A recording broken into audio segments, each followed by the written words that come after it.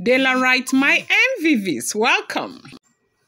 Take care of Tadenikawo. All, you know, the gods will fight you so much. If anything goes wrong or anything happens to Tadenikawo, all, Queen Naomi, Iyanifa, you know, um, um, won the Oni of Ife over what is going on in the palace that um, the Oni of Ife needs to make hay while the um, sun shine, that shines that he has taken too much time in making this decision that he ought to have made a long time ago. That God forbid to fear qua or may may hey God no go ever agree that nothing is going to come close to Tadenikawo. But if Oni of Ife will allow one string of hair out of the body of Tadenikawo, that the gods will fight him down and bring him down from that throne. That he needs to pay attention to Tadenikawo and take care of the mother of Tadenikawo, or else he incurs the wrath of the gods. Uh-huh. Who is Iyanifa? um uh, uh, Iya, Iya or Iyanifa, sorry if I'm not pronouncing that name well.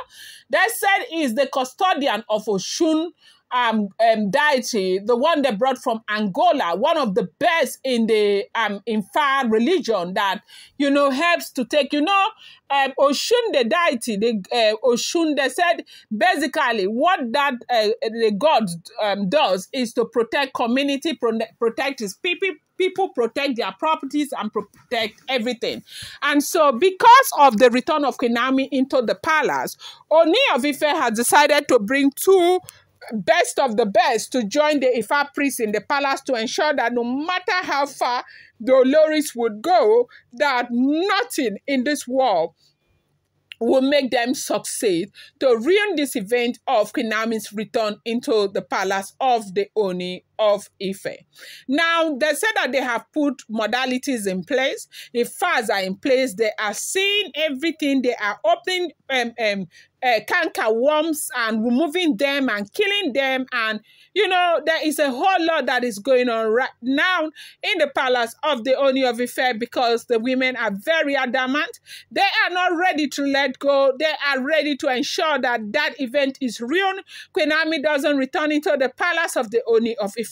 And because the Oni realizes that this woman will go to whatever length to ensure that that happens, the Oni decided to go and bring these um, um, um, people custodian of several deities to be in the palace to monitor event for him.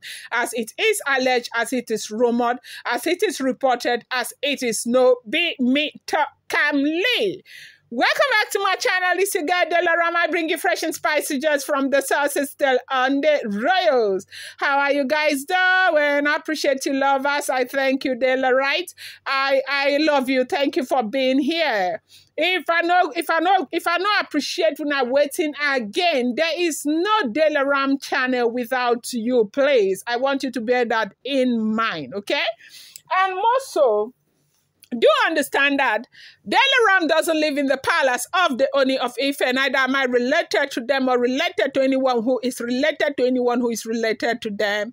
I am just a blogger. Whatever I get, I bring it here, I reenact it, and I post. And um, I want you to bear that in mind. And I will add also that whatever you get on social media, you want to take it with a pinch of salt. I appreciate you guys so much.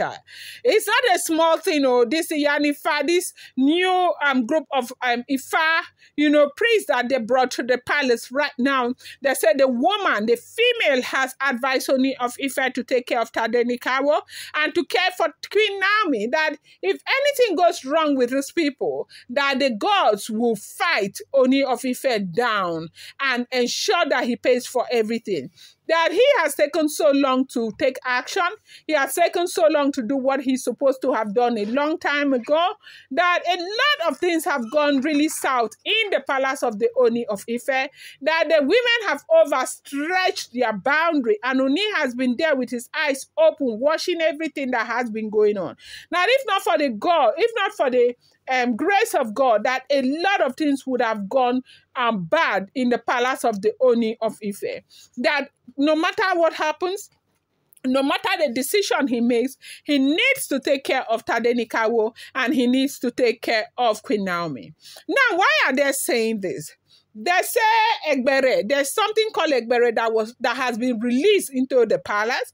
And Egbere, if I, I'm sorry if I'm not pronouncing that well as um, um, um well, uh, it is spelled E R G B E R E. Now, in case you don't understand my pronunciation, it is spelled Echo Golf Echo Radio um uh, Echo Mm-hmm. I don't know. Okay, so right now they said that Egbere has been released into the palace and they released it to activate it to cause problem, to make noises, spiritual noises that will confuse people, their hearts, and for them to begin to think that Queen is not wanted, Queen is not wanted. And so that energy will be sent across um, to the spiritual realm and they, they, uh, they'll begin to release an energy that will make that event not to hold. You know, this life is all about, you know, energies, okay? That is why they keep saying that. You should be very careful about the things that you say because whatever you say comes to pass. And also, most things that you think about are the things you say in your life.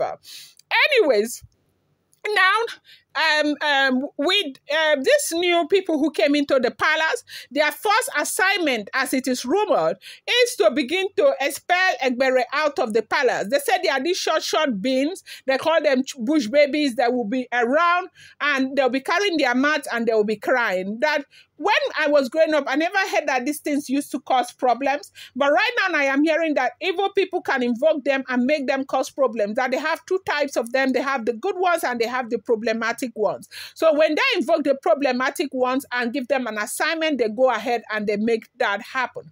And so they say these people are moving all over, roaming around the palace and to release an energy that will uh, make Queen Naomi's um, event, uh, that will confuse everything, that will make sure that does not happen. And so they are expelling them and making sure that whoever is doing this will have him, uh, uh, his or herself to blame.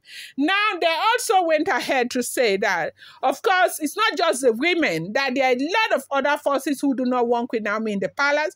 And reason why they do not want Queen Naomi in the palace is not far-fetched. The fact that she is a child of God who is very, very prayerful. One of their biggest problem they have in the palace of the Oni of Ife right now is um, said to be the prayers of Queen Naomi. They are not happy about the fact that Queen Naomi is such a prayerful woman. They feel that Queen Naomi is going to be a complete hindrance to the things they are doing, like she used to be when she was in the palace before. And that's the reason why they do not want her back into the palace. But what did I say to you people the other day? God pass them. Delarite, let me hear you guys. God pass them. Delarites, my Delarite, let me hear you guys. God pass them. We will see to this and we will see that Queen Naomi will return into the palace this June by the grace of God. And we will celebrate and she will forge ahead with her life. I'm going to bring you more update. I appreciate you so much. Thank you.